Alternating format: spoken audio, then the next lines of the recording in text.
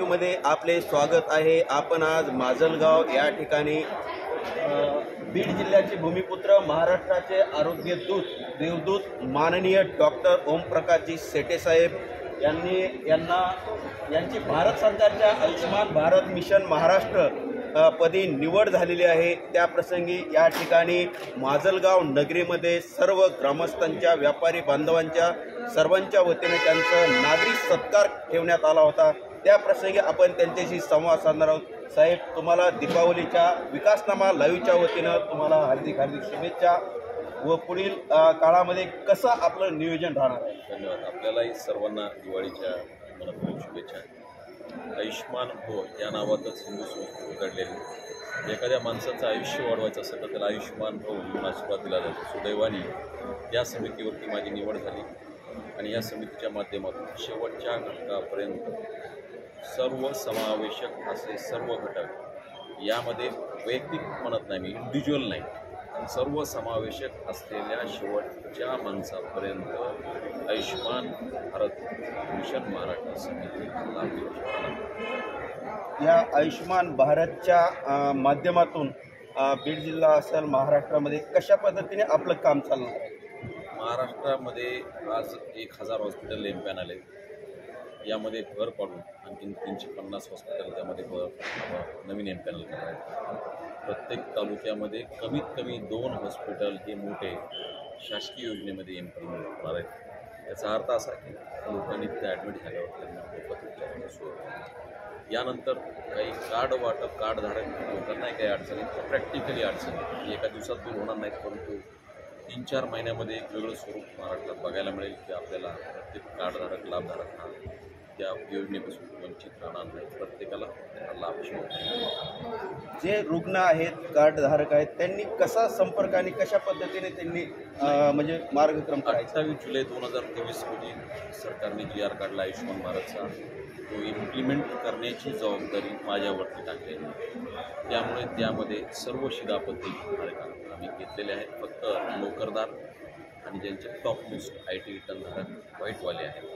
ते सोडले. म्हणजे बाकी सर्व रेशन कार्ड होल्डर्स त्याच्यामध्ये सिंपल व्याख्या दिलेली. मुळामध्ये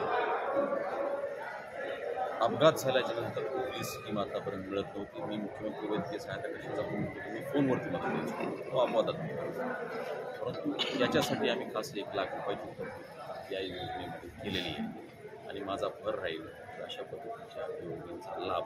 त्याच्यामध्ये नाममात्र आहे. फक्त आधार कार्ड आहे कारण त्यावेळेस पेपर्स मागणं फार चुकीचं होतं. आणि सिंपल आहे की पोलिसांना रिपोर्ट केला जातो एम एल सी प्रत्येक हॉस्पिटल करते. तो एक रिपोर्ट आणि तिथला जिओ टॅगिंगचा म्हणजे आता एक सिंपल हे त्यात त्या हॉस्पिटलमध्ये पेशंट ॲडमिट आहे. त्याच्या व्यतिरिक्त कुठलाही पेपर त्याला मागला त्याच्यात आधार कार्ड असतं फोटो काढणे आणि पाठवणे नुसत्या आधार कार्डवर देखील तो चाहे भारतातला कुठलाही पेशंट असेल त्याचा ॲक्सिडेंट महाराष्ट्रामध्ये झाला असेल तरी त्याची एवढी चांगली योजना आहे.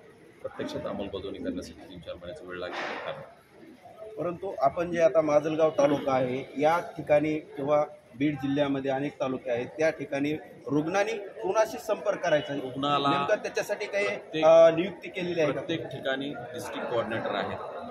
आणि जी हॉस्पिटल आता मी परत एम पॅनल करण्यासाठी मी स्वतःहून फोन केला मुळामध्ये जी आर देण्याच्या एक दोन दिवस आधीच मी त्यांना सगळी माहिती घेतली माझ्या मनात आहे की ही हॉस्पिटल एम पॅनल आहे. आणि त्या त्या ठिकाणी आमचा आरोग्य मित्र ऑफिशियल डेस्क असतो काही प्रथमदर्शनी भागामध्ये जाताना त्या ठिकाणी संपर्क करायचा प्रत्येकाला ओमप्रकाश शेट्टी यावं असं नाही कारण मी सर्व ठिकाणी करू शकत नाही. आता हे फार मोठं ब्रॉड कन्सेप्ट आहे. आणि माझी माझं जबाबदारी माझी ताकद होईल कमजोरी नाही. प्रत्येकाने आहे त्या योजनेचा आहे त्या ठिकाणच्या इन्फ्रास्ट्रक्चरचा उपयोग घ्यावा. आणि ती योजना प्रत्यक्ष सक्सेस तर या आपल्या महाराष्ट्राचे आज आयुष्यमान भारतचे पदी तुमची निवड झालेली आहे. आपण महाराष्ट्रातील जनतेला दीपावलीनिमित्त कशा पद्धतीने शुभेच्छा द्या या दीपावळीमध्ये एकही रुग्ण रुग्णालयामध्ये नसतो. अशी ईश्वरचरणी प्रार्थना. दुर्दैवाने असं जरी म्हटलं देव सृष्टी निर्माण झाल्यापासून या गोष्टी अर्थातच अनेक रुग्ण ॲडमिट असतात. सगळ्यांना आरोग्यमय शुभेच्छा देतो पुढच्या काळामध्ये त्यांना वैद्यकीय मदत लागू नये. लागली तर परमेश्वराने मला शक्ती द्यावी की आयुष्यमान भोच्या मार्फत सामान्य लोकांचा आयुष्य सुधारण्यात धन्यवाद साहेब. खरोखर आत्ताच ओमप्रकाशजी शेटे साहेबांनी सांगितलेलं आहे की प्रत्येक रुग्णांना जे रुग्ण आहेत त्यांना कुठलंही दुःख होऊ नये अशी त्यांनी एक भावना व्यक्त केलेली आहे. विकासनामाला बालासाहेब पपाळ माजलगाव.